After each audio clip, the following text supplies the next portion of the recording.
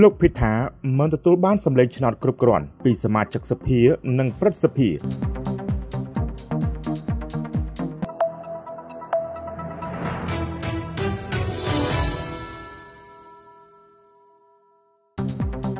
ការបរាជ័យនៅក្នុងការបោះឆ្នោតជ្រើសរើសនាយករដ្ឋមន្ត្រីកាលពីថ្ងៃទី13ខែកក្កដារបស់លោកភីតាលឹមចារិនរ៉ាត់ដែលជាបេក្ខជននាយករដ្ឋមន្ត្រីពីគណៈបកកៅខ្លៃគឺជាការជំរុញឲ្យនយោបាយប្រទេសថៃឈានទៅរកស្ថានភាពដ៏តឹងរ៉ឹងសមាជិកព្រឹទ្ធសភាភាគច្រើនជ្រើសរើសយកអនុវិទ្យនិងមិនបោះឆ្នោតគ្រប់គ្រងលោកភីតាធ្វើជានាយករដ្ឋមន្ត្រីថៃនោះទេដូច្នេះវាគឺជាចំណុចសំខាន់ដែលលោកភីតានិងសមាជិកគណៈបកកៅខ្លៃត្រូវរៀបចំផែនការសារជាថ្មីសម្រាប់ការបោះឆ្នោតរបស់សមាជិកសភានិងព្រឹទ្ធសភា នៅពេលបន្ទាប់ខាងមុខនេះ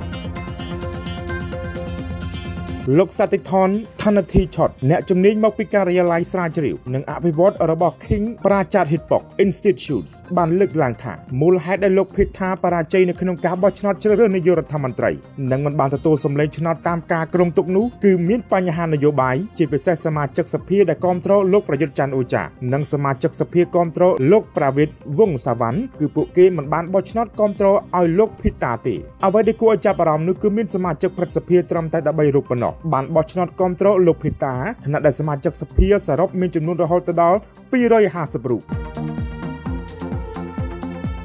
គេសង្កេតឃើញថាសមាជិកសភានិងព្រឹទ្ធសភាមិនគ្រប់គ្រងលោកភេតាធ្វើជានាយករដ្ឋមន្ត្រីថៃគឺពួកគេបានណាត់គ្នាមិនបោះឆ្នោតគ្រប់គ្រងហើយក្រុមខ្លះទៀតមិនចូលរួមបោះឆ្នោតឬមិនចូលរួមប្រជុំតែម្ដងក្រុមទាំងនេះធ្លាប់បានប្រកាសថាពួកគេនឹងបោះឆ្នោតគ្រប់គ្រងលោកភេតាប៉ុន្តែនៅពេលដែលថ្ងៃបោះឆ្នោតហើយពិតប្រាកដបែរជាបាត់មុខពួកគេអស់រលីង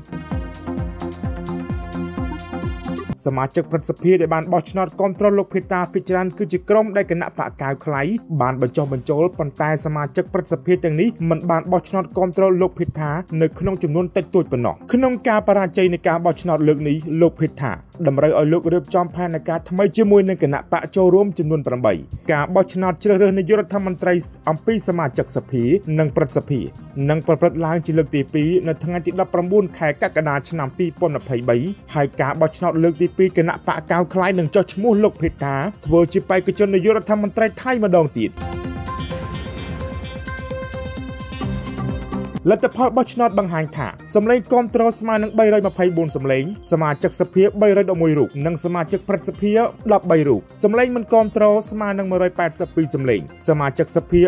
148រូបនិងសមាជិកព្រឹទ្ធសភា34រូបអនុប្រវេតស្មើនឹង199សម្លេងសមាជិកសភា40រូបនិងសមាជិកព្រឹទ្ធសភា159រូប